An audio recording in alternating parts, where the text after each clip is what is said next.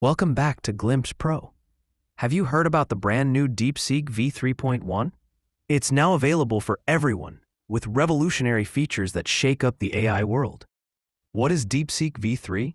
DeepSeek V3 is a massive open source language model.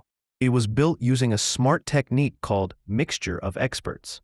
This means it selects the right experts for each question, giving you accurate and fast answers. Despite its huge size, it competes with top models like GPT-4 and Claude 3.5, but at a much lower cost. DeepSeek V3 combines power, speed, and affordability.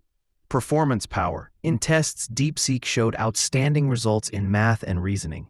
Imagine this, it reached 90% accuracy in complex benchmarks. It is also three times faster than the previous version.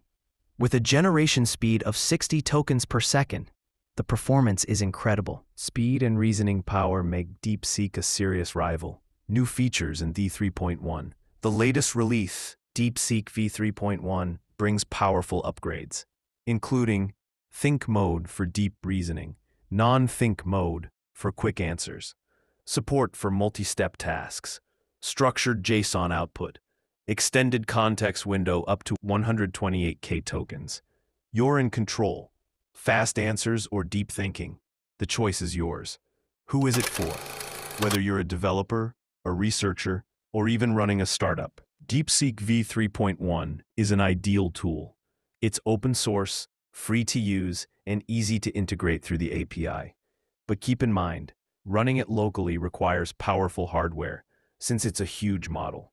Perfect for developers and researchers who want flexibility and control. Reactions around the world. Everyone is talking about DeepSeek. Some see it as the start of a new AI race. Others call it a Sputnik moment, shaking the big tech giants in the US. DeepSeek is not just a model, it's a global game changer.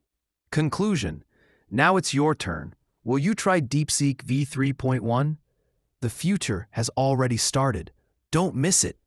Don't forget to like this video and subscribe to Glimpse Pro and share your opinion in the comments.